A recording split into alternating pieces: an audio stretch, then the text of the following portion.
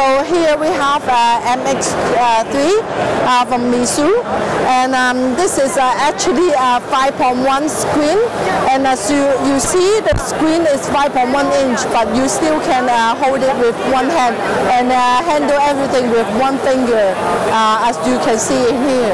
For one of the example that uh, we also, always like to show is that when you click on like, let's say, a document, and if you want to upload few things.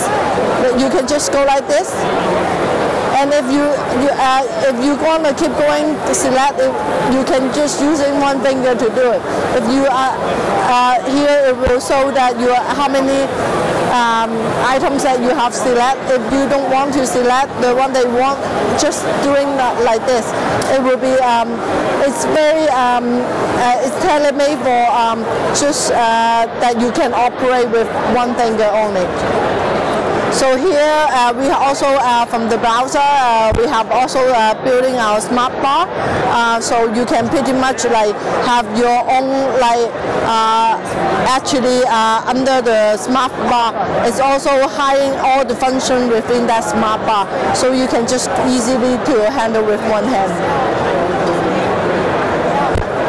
And uh, for other features, like uh, we have a camera is uh, 800 megapixel, but uh, um, and we integrate some um, uh, special fe feature within the camera. For example, you can just hold on the camera and it will take the picture for you. So um, that way that you have more stable picture um, without uh, the, the, the, um, the about uh, handshaking. And for the other thing is uh, if you want to test um, about the uh, uh, CPU, you can.